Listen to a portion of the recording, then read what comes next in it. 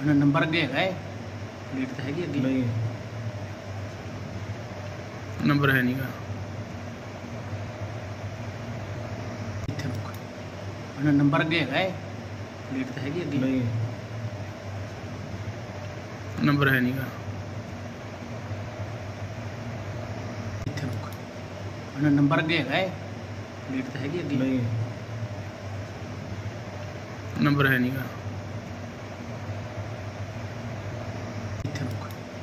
ਉਹਨਾਂ ਨੰਬਰ ਅੱਗੇ ਹੈਗਾ ਹੈ ਪਲੇਟ ਤਾਂ ਹੈਗੀ ਅੱਗੇ। ਨਹੀਂ। ਨੰਬਰ ਹੈ ਨਹੀਂਗਾ।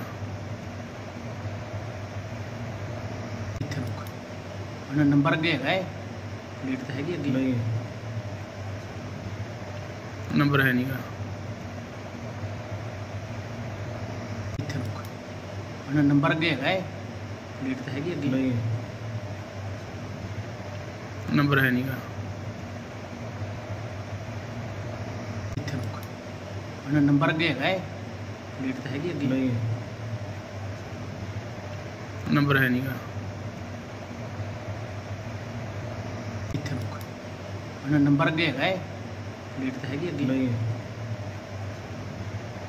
ਨੰਬਰ ਹੈ ਨਹੀਂਗਾ